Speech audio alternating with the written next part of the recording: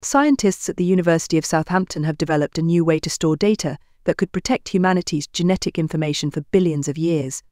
This 5D memory crystal can hold up to 360 terabytes and is designed to resist extreme heat, radiation, and physical damage.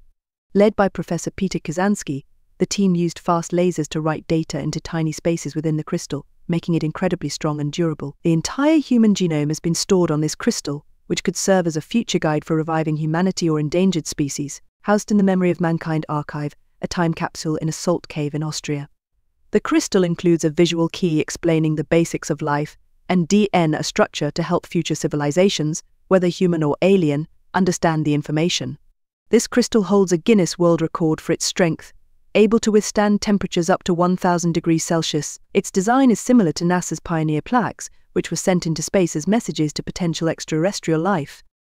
While we can't yet bring back extinct species, the 5D memory crystal opens up possibilities for long-term data preservation, safeguarding not only human history but also the genetic information of endangered species for billions of years.